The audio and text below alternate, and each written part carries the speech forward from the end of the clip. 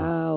وإذا إحنا بنتكلم يعني من ناحية علمية هو هو صحيح إنه في ارتفاع بنسب الطلاق يعني في المجتمع السعودي و وهذا أنا أشوف إنه شيء طبيعي بناء على طبيعة المرحلة اللي إحنا نمر فيها وش- علميا. طيب أنت أتوقع مريتي بقصص كثيرة ل- ل- ل- ل- ل- لحالات طلاق أو قبل حتى ما يحدث الطلاق. صح. وبالتأكيد يمكن تكونت لديك خاصة في الفترة الأخيرة إنه هل التغير المجتمعي الأخير لم يستوعب حتى الآن في منظومة الأسرة وبالتالي قد أثر في علاقة الزوجين مع بعضهم؟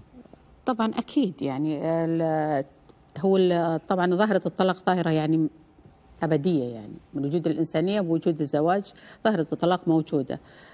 كاخر الحلول مو ببساطها لا كآخر الحلول أكيد طبعا هي كظاهرة إحنا نتكلم يعني ما هو كحل.